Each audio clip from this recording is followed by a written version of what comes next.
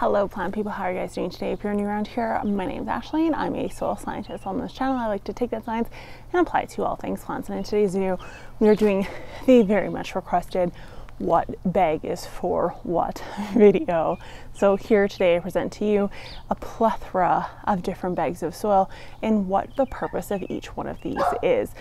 I did go to Walmart to get these because I wanted to make sense to both the American side and the Canadian side. I was going to go to Superstore, like to a Loblaws, but then I realized Americans don't have Loblaws, but everyone has a Walmart. So that's where I got my bags as well. I'm hoping, fingers crossed, that at least some of these brands will cross over or the names will be very, very sim similar to it, but I will give you the synonyms to uh, basically the equivalent of what I'm talking about. So let's start off with peat moss.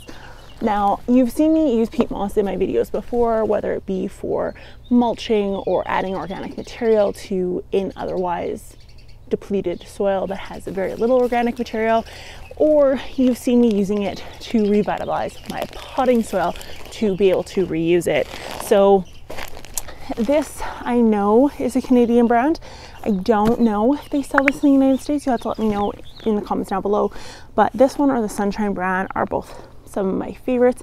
I find that they don't have as many twigs in them and it is more peat moss.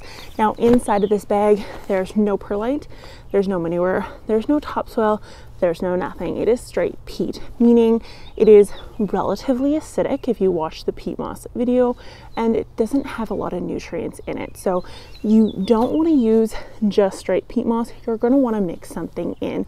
So if you choose to make your own potting soil, for example, and you want to make your own version of Pro Mix or Sunshine Mix, then what you're going to want to do is you're going to want to take one bale. This is a half bale. So you'll take half bale, one bale, and you're gonna wanna mix in a bag of compost or manure and a bag of topsoil along with if you're not using a cloth bag and you're using a plastic or a ceramic pot you're going to want to use a perlite or a pumice just to add in a little bit aeration. If you're using a cloth or a fabric pot then you actually could probably get away with not using pumice or perlite or using very little mostly because you're exposing both the soil and the roots to a lot more air and airflow. So check out my container video if you want more information on that. So ta-da, this is peat moss. I'm pretty sure you're all familiar with what this looks like. So I'm gonna save this for the revamp I'm doing on how to reuse your potting soil for a bit later. I want to keep it packaged up and nice until then.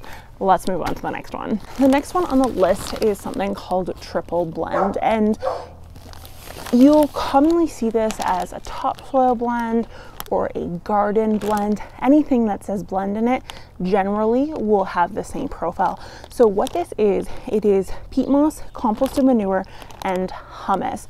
So what this is referring to is the peat moss behind me added with that compost manure I said you would have to add and humus. And when they say humus, they usually mean the layer just before the A horizon, but below the leaf litter layer or the grassy leafy layer.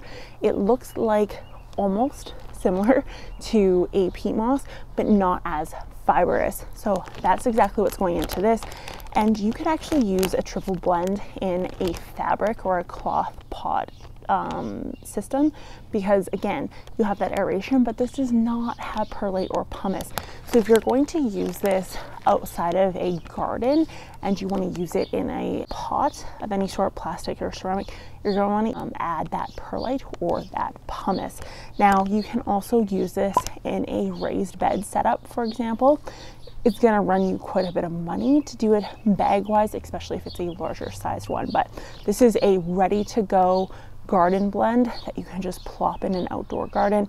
You put it in a container, you're gonna wanna add a little bit to it. So let's open it up and see what's inside. So as you can see here, it is very similar to just a peat moss blend mix, but it um, it's a little bit darker, a little bit thinner, and it does have some chunkier bits of wood. I'm suspecting that's probably the peat moss manufacturer or supplier that they use for this expert gardener blend. It may not be the case with all the higher quality you go with, probably the lower amount of twigs twigs and sticks you will have incorporated into the soil. So, so the next one we have here is enriched lawn soil. So what this stuff is, is it's essentially peat moss and peat humus.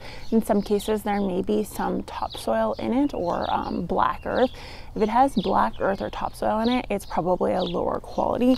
But if it's peat moss or um, a peat base, such as the Schultz brand, it will have that plus a tiny bit of fertilizer not too much, just enough to help with either filling in spots on the lawn or for starting a new lawn in general. Uh, gentle enough that it won't burn any sort of seedling, but enough to give it a bit of a kickstart. So this honestly is that green bag, the green and white bag behind me with a bit of fertilizer added in. And you could probably go with just the bag behind me throw a bit of fertilizer in, you'll have the exact same results. So the next one we have is black earth, or also known as topsoil. Has lots of different names to it, but this is very, very heavy stuff. And I don't use it unless it's to fill holes in the lawn or divots on a lawn. So this stuff packs down very, very well. That's what makes it really great at filling in any divots or gaps within your lawn setting, or if you're starting a lawn, you want to level something out, then this is the bag you need. Um, you can mix it in to a potting soil. So for a container, especially if it's a cloth or something that's not retaining water, it has too high porosity for what you need, then actually mixing in black earth will help increase your moisture retention. Now, if you mix too much in, you can run the risk of root rot, mostly because you are holding too much moisture. So you want to be wary if you use this. However, if you're making your own potting soil, you can put one bag of black earth into a full bale, or if it's a half bale, such as the one behind me, one bag, approximately this size of black earth, will definitely help. It's going to help increase the cation exchange capacity, the microbial activity in the soil, and a lot of other things like that. So it has its place in the gardening world. I forgot to mention what's in this is actually just really heavily degraded organic material. So it's going to be humus or peat moss that's been degraded for a while. So these two right here, the ProMix and the Garden Experts potting soil are both the exact same thing.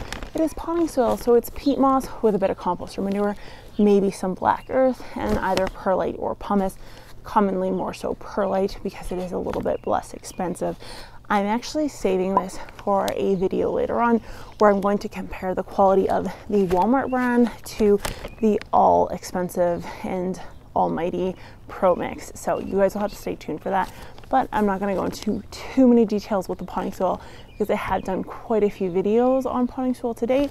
And uh, we got to leave, leave some content for when we check out these two and compare them side by side. And last but not least, compost slash manure. Now you can just get straight compost or manure, but if you want to up your game just a little bit and make your potting soil just a game above or your soil in general, bring it up just a step, then you want to get the composted manure or compost with lime. So that's what I have here. That lime addition is going to help to raise that pH, which is very important if we are using a peat moss based potting soil, coconut coir based potting soil, or if we have a pH that's relatively acidic in our garden soil, adding something with a bit of lime in it is going to help with your soil formation, um, especially if you have a clay soil. And overall, it's, it's a good thing. The exception to this would be if you have a berry bush or roses, they tend, or hydrangeas, they tend to like it a little bit more on the acidic side. So you may not want to use this if it has lime in it for that case. But this can be used inside of the potting soil mix. It can be incorporated into the soil profile. It can be used for top dressing on houseplants. It can be used for top dressing in the garden, on our potted container plants you name it, it can go anywhere.